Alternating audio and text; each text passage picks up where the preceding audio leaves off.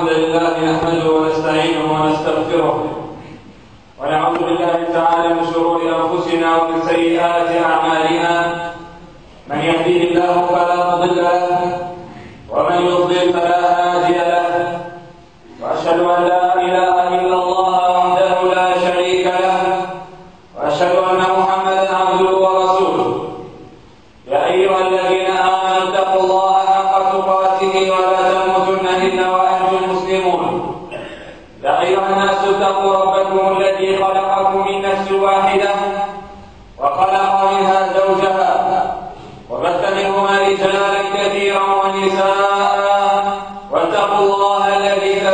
ولا ينادي والأرحام.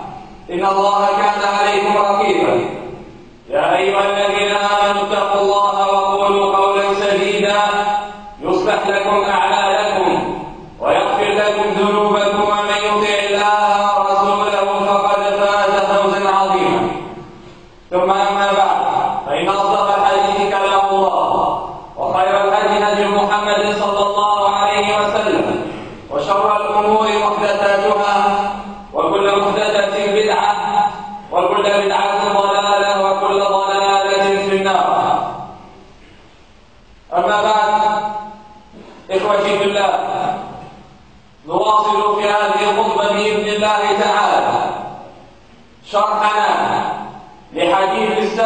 الفرح الذي بدأنا فيه منذ عدة أسابيع.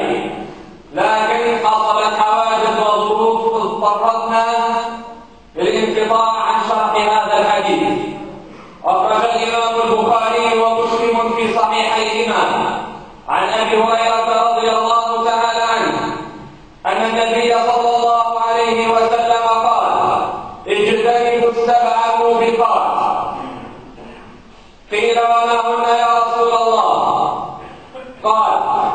الشرك بالله والسحر. وقتل النفس التي حرم الله إلا بالحق وأكل الربا وأكل مال اليتيم والتولي يوم الزحف. وقتل المحصنات المؤمنات الغافلات. قال النبي صلى الله عليه وسلم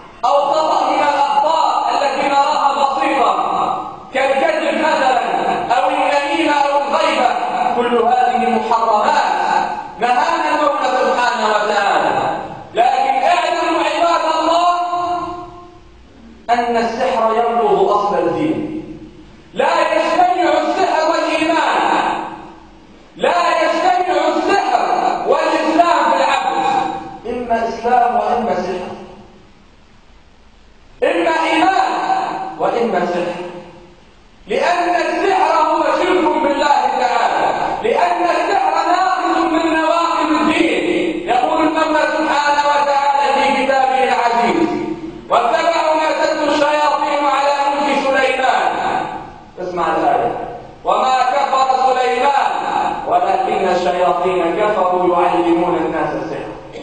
من أسباب كفر الشياطين تعليم الناس السحر. حاشا لنبي الله سليمان عليه السلام أن يكون ساحرا لأن اليهود نسبت السحر وعلومه لنبي الله سليمان. حاشاهم من ذلك هو نبي معصوم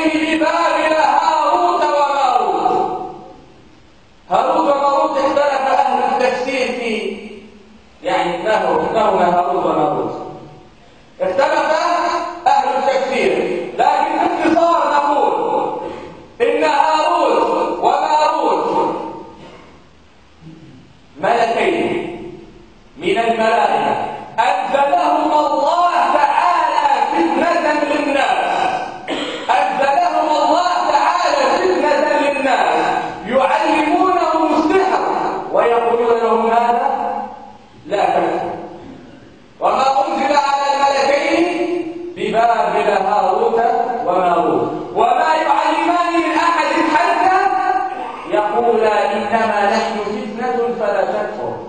إنما نحن فتنة فلا تكفر. فدلت الآية على أن السحر ماذا؟ على أن السحر مناقض لأصل الدين. على أن السحر لا يجتمع مع الإسلام.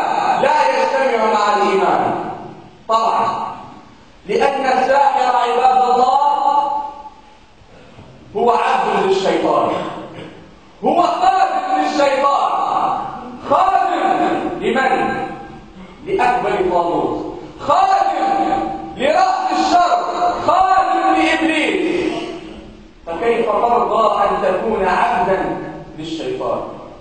فكيف ترضى أن تكون عبدا لمن ناصب العداوة لدين الله تعالى؟ فكيف أن فكيف ترضى أن تكون عبدا لمن كان رأس كل بلية ورأس كل شر الشيطان.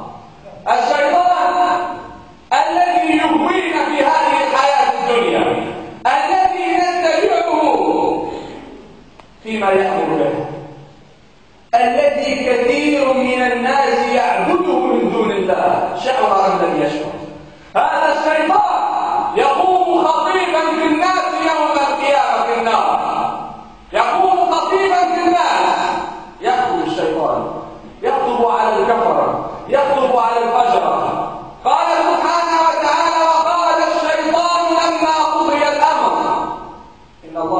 وعدكم وعد الحق ووعدتكم فأخلفتم يا من تتبع الهوى اعلم أنك تتبع الشيطان لأنه هو الذي زين لك الهوى يا من تشرك بالله وتذبح للقبور اعلم أنك عبد الشيطان زين لك عبادة القبور إن الله وعدكم وعد الحق ووعدتكم فأخلفتكم الله تعالى وعدنا وعد الحق وعدنا بالجنة إن أطعناه وعدنا بالنعيم المقيم إن عبدناه ووعدتكم فأخلفتكم الشيطان دائما يزين افعل كذا ستنال كذا افعل كذا ستنال كذا وستفعل وستفعل ما يحكم عليهم في النار ووعدتكم فأخلفتكم وما كان لي عليكم من سلطان إلا أن دعوتكم فاستجبتم لي.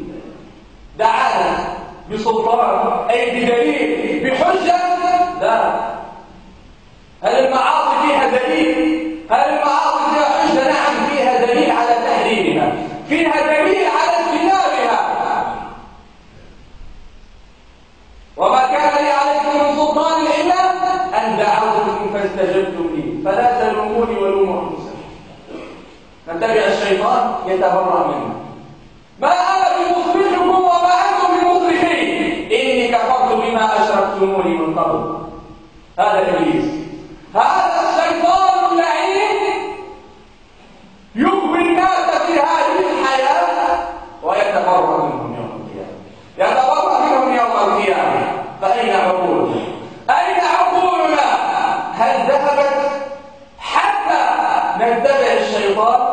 المعاصي حتى يتبع الشيطان في الشرك والكفر بالله يقول سبحانه وتعالى إن الشيطان لكم عدو فاتخذوه عدوا فاتخذوه عدوا اجعله عدو الشيطان كيف تجعله عدوا يا عبد الله أطيع الله تعالى اعبد المولى سبحانه وتعالى اتبع الكتاب والسنة بإذن الله تعالى تجعل الشيطان خاسرا تجعل الشيطان خاطئا بطاعة المولى سبحانه وتعالى فاتخذوه عدوا هذا المولى سبحانه وتعالى. فحقيقة هؤلاء السحرة الذين يفسدون الدين والدنيا الذين يفسدون العباد والبلاد. شرهم كبير شرهم كبير. الله سبحانه وتعالى لما نهى عن السحر ليس ماذا؟ ليس هكذا ليس نهي مجرد عن حكمة وعن علة لا إنما لأجل أن هذا السحر وباء وشر. فيتعلمون منهما ما يفرقون به بين المرء وزوجه. هذا مثال بسيط. هذا مثال بسيط على أفعال السحرة. يفرقون بين المرء وزوجه. بل الناس تموت وتقتل بالسحر. الناس تمرض الناس يصيبهم الجنون بالسحر. فأي خير في هذا الأمر؟ فأي خير في هذا الأمر؟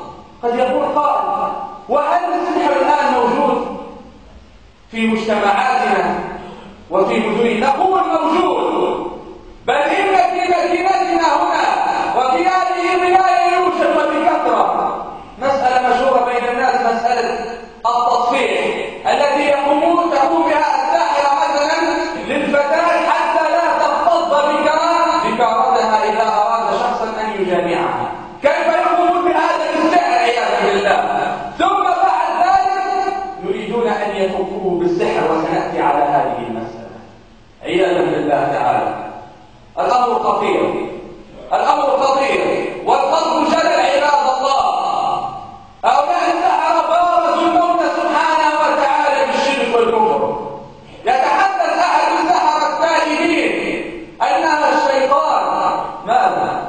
أن الشيطان كان يقول له صل أمام الناس تغتروا بل إن السحر في هذه الأزمان أشد خطرا من الجاهلية. لأن السحر يمثل على الناس يموه على الناس بلغة أخرى. تجده تراه يصلي بل تراه يمثل آيات من الكتاب العزيز. يقول لك فلان يشفي وفلان. نزل ولد مريض ولا عنده مس إلى ذلك الساحر أو الكاهن ليس هذا من الله تعالى. لا يغرنكم تلك الآيات التي يتلوها يقول كذلك هذا الكتاب أن الشيطان يقول له الشياطين تقول له اكتب القرآن بالنجاسة عياذا بالله اكتب القرآن بدم الحي صل وأنت على جنابة إلى غير ذلك من الأفعال الكفرية والشركية فالواجب اجتناب هؤلاء الواجب أن لا يرجع إليهم المرء لا في كبيرة ولا في صغيرة والله تعالى كتب عليهم الذلة في الدنيا قبل القيامة حتى الساعة تجده نادر الرائحة منتشر الثياب عليه ظلم في وجهه ليس ذلك إلا بسبب تكبره وطغيانه قال سبحانه وتعالى ألم تر إلى الذين أوتوا نصيبا من الكتاب يؤمنون بالجبت والطاغوت؟ احذر أن تكون من المؤمنين بالجبت. الجبت كما قال عمر بن الخطاب هو السحر الناس لا تؤمن بالسحرة الآن الناس تعتقد بالسحرة الآن الناس تعتقد بالكهنة هذه مصيبة مصيبة هذه الذهاب إلى العرافين الذهاب إلى الدجالين بل في الصحف قراءة الأبراج هذه كثير من الناس تستهين بها حتى يعني تسأله لماذا تقرأ يقول لأتسلم يعدي الوقت. اسمع لحديث النبي صلى الله عليه وسلم. يا من تتسلى بقراءة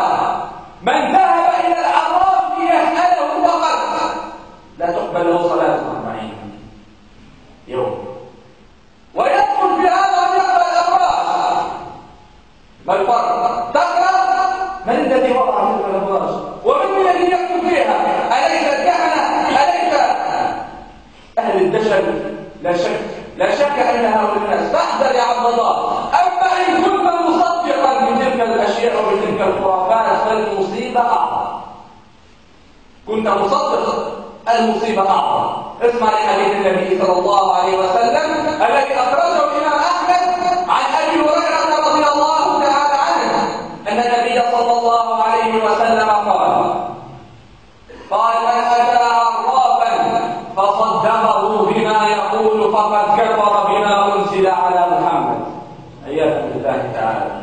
طبعا لأن علم الغيب بخصوصيات خصوصيات الله تعالى لا يشاركه فيها أحد. حتى النبي صلى الله عليه وسلم أفضل البشر. فما بالنا بهؤلاء الأنجاس؟ فهؤلاء فما بالنا بهؤلاء الشرذمة الذي تزعم علم الغيب. فقد كفر بما أنزل على محمد. وفي رواية عند ابن أبي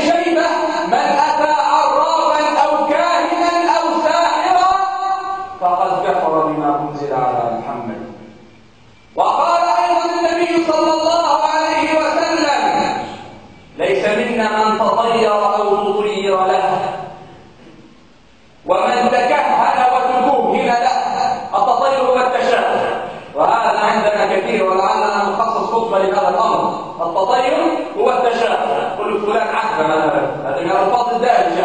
عند فهذا من التطير المنهي عنه. ليس منا من تطير أو تطير له. أو تكهن أو تكهن له. أو سحر أو سحر له. كلاهما يشتركان في الاسم الثالث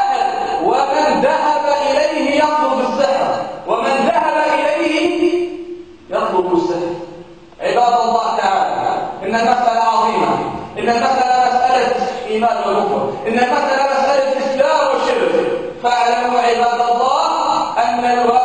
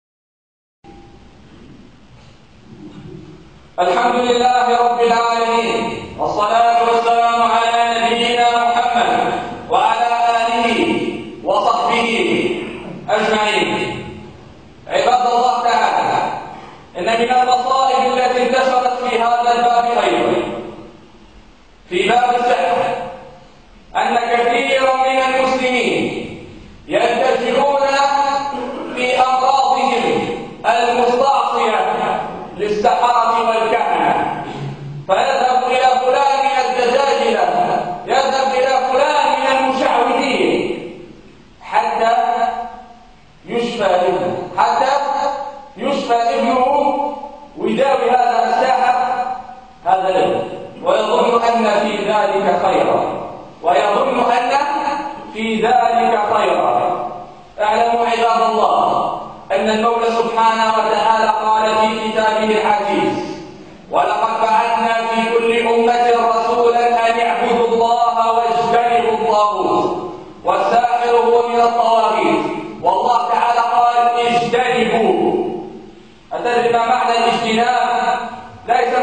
فقط أن تعبده بل أن تكون أنت في واد وهو في واد هل يصح الاجتناب مع الذهاب للسحرة؟ النبي صلى الله عليه وسلم قال من ذهب يعني من أتى عرافا العراف هو العراف يعني أهون من الساحر لو نقال كلاهما شر لكن العراف أهون من الساحر من أتى عرافا وسأله عن شيء يسأله عن شيء لا تقبل له لا تقبل لك صلاة أربعين يوما فكيف يذهب إلى السحرة لينال منهم الشفاء. لا. لا. لا يا عبد الله يقول سبحانه وتعالى ويتعلمون ما يضرهم ولا ينفعهم السحر ضرر السحر ضرر محض عباد الله السحر شر محض احذر ان تذهب إلى السحره ولو لتشفى الله تعالى جعل لك السبيل الشرعي الله تعالى جعل لك الطريق الشرعي الله تعالى جعل لك الدواء والحل الشرعي فكيف تستبدل الذي هو خير الذي هو أنت كيف هذا الله تعالى قال وتعاونوا على البر والتقوى ولا تعاونوا على الاثم والعدوان تذهب للساحر ما سيفك ذلك السحر هذه مسألة يطلق عليها اسم أن يشرب يطلق عليها اسم اليسرى واليسرى طبعا إذا كانت بالقرآن وبالآيات وبالأدعية وتسمى بالرقية الناس قد يكون عندهم صرع أو سحر تقرأ عليه آيات من القرآن أو نحو ذلك يعني من الأشياء المجردة والأشياء الشرعية النبي صلى الله عليه وسلم قال لا بأس بالرقى ما لم تكن شركا لا بأس بالرقية لا بأس بالرقية إلا إذا كان فيها الشرك وما هو السحر بينا أن السحر مناقض لأصل الدين بينا أن السحر نفسه شرك أما النشرة إذا كانت حل السحر بالسحر الإنسان يكون مسحور عنده سحر ويذهب إلى السحرة حتى يحل له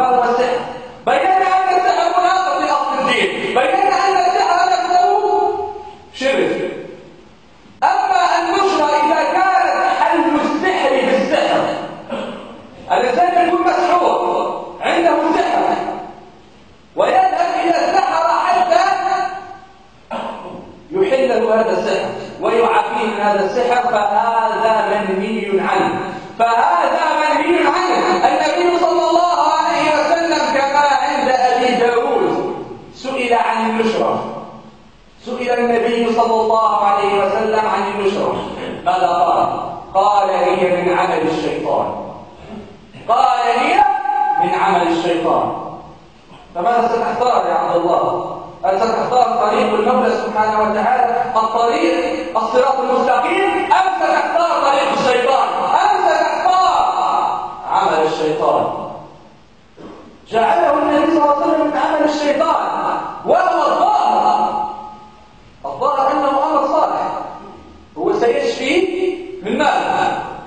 من ذلك الأمر. من ذلك الأمر.